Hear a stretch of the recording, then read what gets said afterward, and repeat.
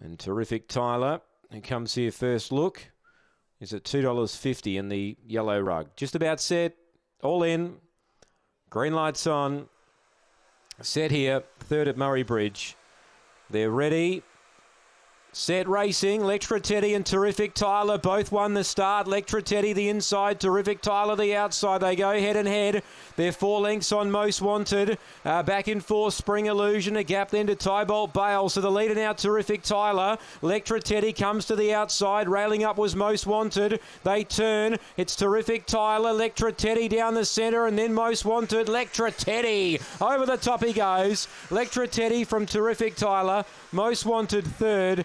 Fourth, Spring Illusion. And Tybolt Bale last in. Good win. Times around 25.60. Great run too.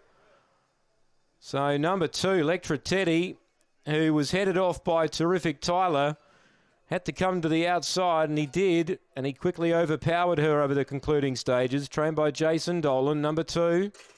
It's a new personal best for him. Five is second, terrific Tyler.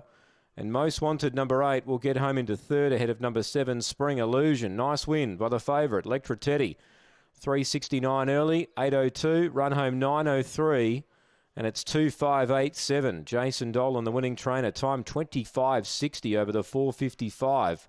Nice win. I length the winning margin by a length and a quarter after race number three.